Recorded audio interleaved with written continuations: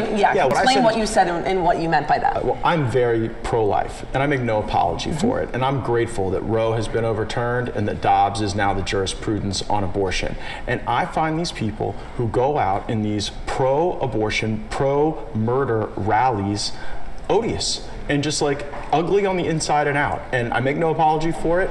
I.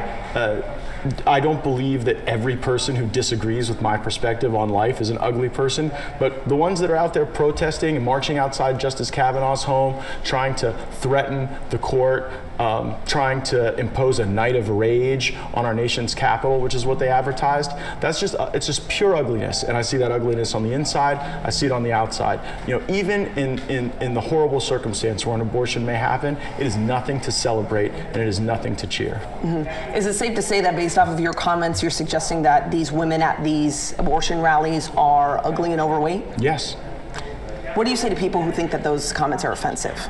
be offended. Mm-hmm.